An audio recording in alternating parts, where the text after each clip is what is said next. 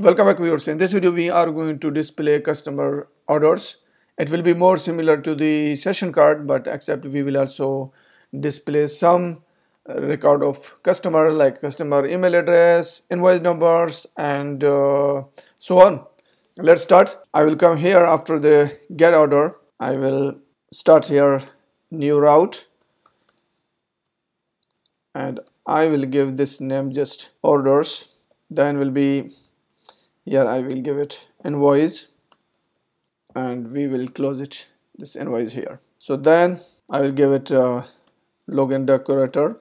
So after that define orders and then here we pass invoice and then we will check here if current user dot is underscore authenticated then we are going to write here. First I will write here grand total. So this will be grand total equal to 0 and uh, subtotal. This will be also equal to 0 and uh, then I will get here customer underscore ID will be equal to current user dot id and here we will get the logged in user id whatever the user is logged in. Then I will get here the customer. So I will write here be equal to register dot query dot filter by id equal to customer id and then we are going to get this first. And uh, after that I will just write here orders equal to customer order no, this will be customer orders. So here we just write the same query filter by customer ID equal to customer ID so we will get this by customer ID whatever the customer ID is so then there will be invoice number equal to this invoice number whatever you want but now we are getting this one by customer. So then I will write here. First also we want only one record not more than one. So after that I will calculate here. So maybe you can put this grand total subtotal separately in your database then retrieve from there. But I just put all the session into database so therefore I have to loop through and calculate our record here. So this will be here. I will start for loop as before like a key then I will give it name of product in so here we will get this orders dot orders dot items so if you go to here in our model you will see we have this column name orders. So we are getting this orders. Inside this orders table our database table name is orders. And for the dictionary you have to do this items. And this is term of python. So now i will calculate first discount. This will be equal to here i will write this product. And this will be product uh, discount and divided by 100 time. So we are going to float the price. This will be product price. So here we are getting the discount and dividing them by 100 and then multiplying this with price. So then I will get here this subtotal and subtotal will be plus equal to float this product product price and uh, we are going to multiply this price by integer of product quantity. So this will be int and then product and here we will get the quantity. So then we are going to take out the discount whatever discount we have. So I will write here this subtotal this will be minus equal to discount. So we will take out this discount from our subtotal. So then we have to add the tax. So here tax will be equal to I will write here percentage then dot to f. This will be here then percentage and here I will just give it a parenthesis then will be dot 6 and this will be time float and here we will give it subtotal. So this will be our tax and we are this will be 0.0 not just 6 we will give it 0.06 and then we are going to add this tax to our grand total. So then will be grand total be equal to here. I will write this equal to float and uh, this percentage dot percentage dot to f then percentage here and parenthesis. And here will be 1.06 because we are going to add this then this will be time subtotal. And this should be not minus here. So now I will come back here. Else if our user is not authenticated so what we can do we will return redirect url_for and here we have this customer login. Here I will copy this method and paste it here. Here we have to write return and then a render template. And uh, what will be the our template. This will be inside of I will just first I will copy this one here whatever the customer login is. So this will be inside our this our customer directory. And then here I will just name it order dot HTML so then after that we have to bring our invoice. This will be equal to invoice and then tax. This will be equal to tax. And then we have here subtotal. This will be equal to subtotal. And then we are going to display their grand total. And this will be equal to grand total. And uh, we have to display customer also. This customer will be equal to customer and then also orders. So orders will be equal to orders. So these things we have to display there in our HTML so I will come here then template and after template here we have this customer uh, directory. We have already this login and register. Here I will create new file. This will be order.html and uh, this one is done here.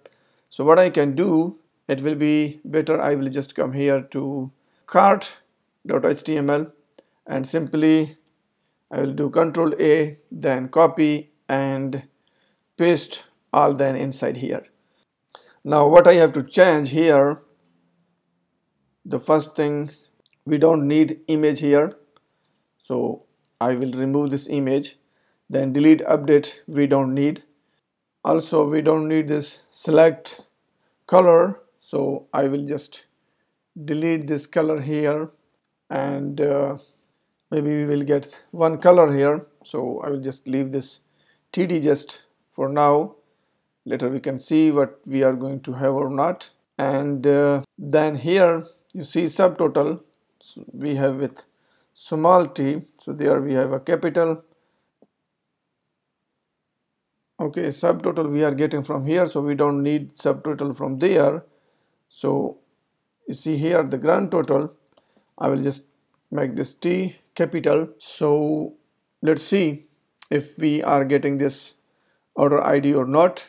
Other things uh, we will display later. So let's see how it's working if we are getting some error or not so I will come here and then come to orders. And after orders we have uh, this one str items product key and orders dot orders dot key. So maybe the problem is our again this model form here process result param so this one is not param so this will, will be value. We have to write here value and change this name as to value not a param. So now you can see because this method is here it is going to dump value inside the database and with this we are getting the value. So here you can see this is JSON load. So now if I go here and refresh you can see we have another error. So this says the object has no shopping cart. Get this one from shopping cart because now we don't have the shopping cart. We have here orders dot orders then items. So instead of shopping cart now if I come here to check the subtotal is undefined. Where is the subtotal? Here. Here this subtotal should have this T. So now now you can see also we are getting this image and uh, this logout and everything and this part is removed. So here you can see we have this subtotal text and everything. What I can do here for this delete we don't need I will remove this delete update button. We don't need to update now. And uh, else what we don't need and we don't need also this image. I'm going to remove this image. And now if we check again what we have here. So now we have these things here. So color I will display the color whatever the color there and uh, here is the color. So I will just write here product dot color. Then for the quantity quantity is here. For the quantity what I can do I remove this input tag. We don't need here. So this will be just quantity here now. And uh, yeah for the color I will just make it capitalize. Oh this look good for the order now I will change it to checkout. And the clear card I will make it just alright get PDF so in next video we will do it. What I can do I will remove this. Now it will be dead link. And uh, this will also I will make it dead link. And uh, I will come here. I will display some information of the user so first thing here will be invoice. So this invoice I will just come and make it here this order orders dot invoice. And the second thing I will just this will be order status if you want to see the status. And uh, here I will just write status I will write here customer name. This will be here. I will write this customer customer name line break here and line break here also. And I will give it line break here. And this will be customer here. I will write email. And here will be email. And then the last one will be contact br and here you can write this customer contact. And here will be also contact gap between and b colon. Give it this colon here. Information of your customer like that. So this one last one has a little bit of problem. So here like this. So thinks this is our invoice number. If you see here and this invoice number are matching so now what I can change I will come here in our route and uh, I will go this customer order page. So whatever the customer order will be uh, this 2 br I will give here 2 br so will be little bit more gap between. This one is here done. If you are going to check now this time you see here name is Bugti and if I log out from here and log in with another this site. And here you can see the name is Jamal. If I add one another cart here so this will be 2 and uh, I will change here this with 2 to see and now we have a quantity is 2 and here you can see we have this Rado watch and Apple watch.